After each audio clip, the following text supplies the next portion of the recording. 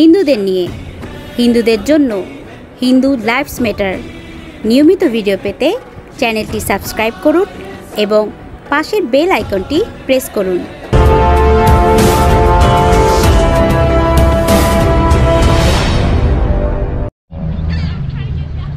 নমস্কার, সুপ্রিয় দর্শক, আপনাদের সকলকেই স্বাগত জানাচ্ছি হিন্দু লাইফস ম্যাটার ইউটিউব চ্যানেলে। আশা করি আপনারা দূরে বা কাছে পৃথিবীর যে প্রান্তেই আছেন, ভালো আছেন, সুস্থ আছেন। দর্শক, হিন্দুরা ভারতে সংখ্যালঘু, এই কথাটা কি ভাবা যায়? কিন্তু দিন দিন সেটাই করছে ভারতের নয়টি রাজ্যে হিন্দুরা এখন সংখ্যালঘু এবং ভারতের কেন্দ্রীয় সরকার এই নয়টি রাজ্যে হিন্দুদেরকে সংখ্যালঘু ঘোষণা দেওয়ার জন্য একটি ব্যবস্থা নিচ্ছে। এর আগে হিন্দুরা সংখ্যালঘু হলেও তাদেরকে স্বীকৃতি দেওয়া হতো না। বিশেষ করে এই সংখ্যালঘুর স্বীকৃতি দেওয়াটা নির্ভর করত রাজ্যের উপর। আমরা এই প্রক্রিয়ায় বিভিন্ন রাজ্য সরকার, বিভিন্ন প্রশাসন এই দূষণের রাজনীতি করে হিন্দুদেরকে ঠকিয়ে গেছে দীর্ঘকাল ধরে। আমি ভারতের পশ্চিমবঙ্গ, উত্তরপ্রদেশ সহ বিভিন্ন রাজ্যের কথা বলতে পারি যে সেইখানে মনে করেন যে নিম্নবর্ণের যারা হিন্দু আছে, তাদেরকে শিডিউল কাস্ট হিসাবে গণ্য করা হয় এবং সেই পরিপ্রেক্ষিতে একটা সরকারি সুযোগ সুবিধা তাদের দেওয়া হয়। এরপরে দেখা গেছে যে এই লোকগুলি, এই যে শিডিউল কাস্টের লোকরা যদি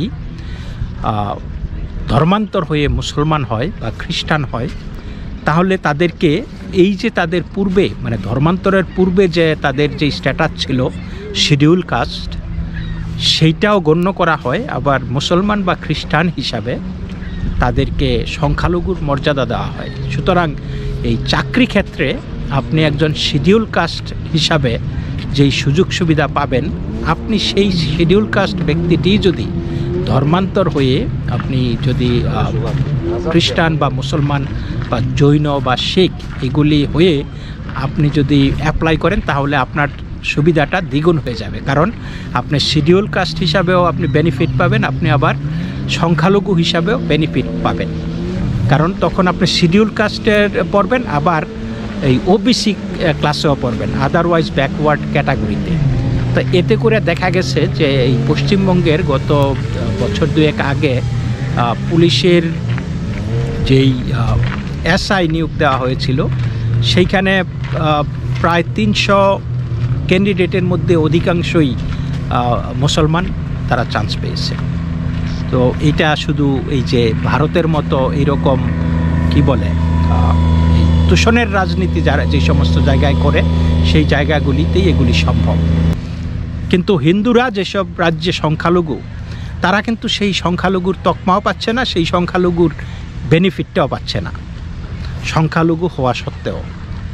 মানে কেন্দ্রীয়ভাবে তারা সংখ্যালঘু নয়, কিন্তু যেই সমস্ত রাজ্যে তারা সংখ্যালঘু, তো রাজ্য তো সংখ্যালঘুদের জন্য একটা বরাদ্দ করেছে, সেই বরাদ্দের মধ্যে হিন্দুরা কেন পড়বে না?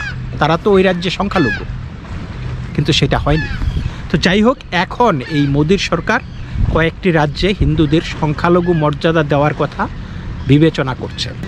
যেই রাজ্যগুলিতে হিন্দু সম্প্রদায়ের মানুষ তুলনামূলক কম, সেই রাজ্যগুলির সঙ্গে এই নিয়ে আলোচনা করা হবে বলে সুপ্রিম কোর্টে হলফনামা দিয়ে জানালো মোদী সরকার। ভারতীয় কেন্দ্রীয় সরকার জানায়, খ্রিস্টান, শিখ, মুসলিম, বৌদ্ধ, পার্সি এবং জৈন এই ছয়টি সম্প্রদায়কে জাতীয় স্তরে সংখ্যালঘু হিসাবে অবহিত করা হয়। তবে যেখানে হিন্দু সম্প্রদায়ের মানুষের বসবাস কম, সেখানকার হিন্দুদের সংখ্যালঘু মর্যাদা দেওয়ার ব্যাপারে সিদ্ধান্ত নিতে পারে সংশ্লিষ্ট রাজ্য বা কেন্দ্রশাসিত অঞ্চল। রাজ্য এবং কেন্দ্রশাসিত অঞ্চল যেখানে হিন্দুরা সংখ্যায় কম, তাদের ধর্মীয় বা ভাষাগত সংখ্যালঘু হিসাবে অবহিত করতে পারে।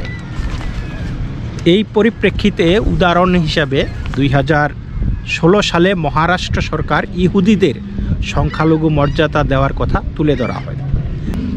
National Commission for Minority Educational Institutions, NCMEI act দুই হাজার চারের ধারা টু এফ অনুযায়ী প্রতিটি রাজ্যে জনসংখ্যার ভিত্তিতে ধর্মীয় সংখ্যালঘুদের শ্রেণি ভাগ করা হয়।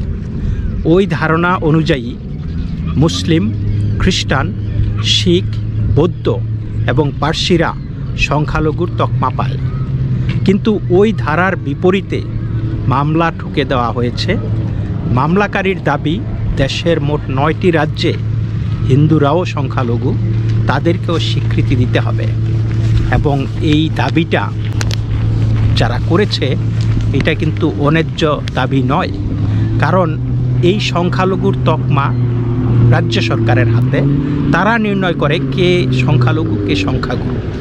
ধরুন পশ্চিমবঙ্গে আমরা জানি মুসলমানরা সংখ্যালঘু এবং পশ্চিমবঙ্গে মুসলমানদের জন্য একটি বিশেষ সুবিধা আছে। এখন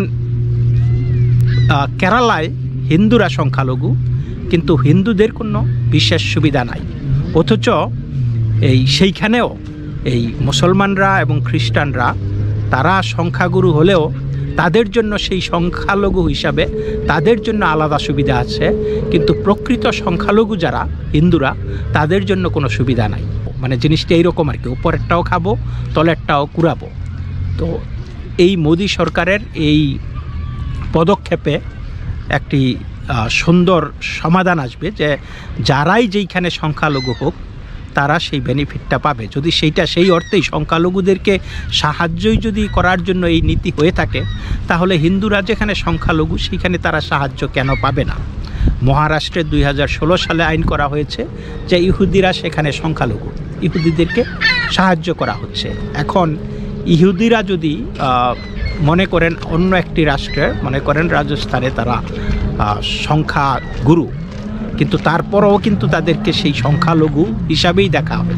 জাতীয় সংখ্যালঘু যারা, তাদেরকে জাতীয় সংখ্যালঘু হিসাবে সুবিধা দেওয়া হয়। মানে সব রাজ্যেও সেটা স্বীকৃতি দেওয়া হচ্ছে। কিন্তু কোনো রাজ্যে যদি হিন্দুরা সংখ্যালঘু হয়, তাহলে সেটা জাতীয় স্তরেও সেই স্বীকৃতি নাই, আবার রাজ্য স্তরে তো নাই। তো মোদী সরকার এখন বলছে যে, আমরা প্রকৃত সংখ্যালঘু বাছাই করব এবং যেইখানে যারা সংখ্যালঘু, তারাই সেই সুবিধাগুলি পাবে। সুন্দর এটা ফেয়ার কিন্তু তারপরও লোকজন বলে যাবে যে এটা মুসলমান বিরোধী বা খ্রিস্টান বিরোধী বা এটা বৈষম্যবাদী, এটা হিন্দুত্ববাদী, এই নানান কিছু বলবে। কিন্তু আসুন come to the point fair is fair তাই না? আপনারা যদি ই চান, সংখ্যালঘুর সুবিধাই চান, তাহলে যেইখানে যারা সংখ্যালঘু, তারা সেই সুবিধা পাবে। এটাই তো স্বাভাবিক। যাই হোক আর কিছু বলছি না। আপনারা সকলেই ভালো থাকবেন। নমস্কার। Take care